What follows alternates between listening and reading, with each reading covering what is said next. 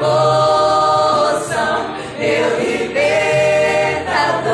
meu abrigo, torre. Eu possa habitar em Sua presença para sempre.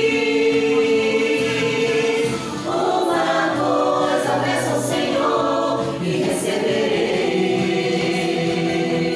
todos os dias da minha vida, Sua beleza.